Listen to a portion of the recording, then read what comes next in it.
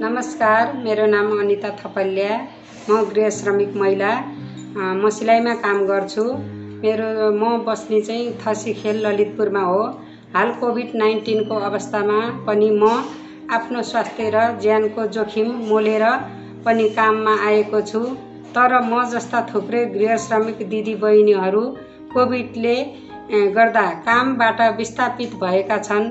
अबको दिनमा सामाजिक सुरक्षाको उचित व्यवस्था र काम गर्ने सहज वातावरण भइदिए हुन्थ्यो भन्ने चाहन्छु। धन्यवाद।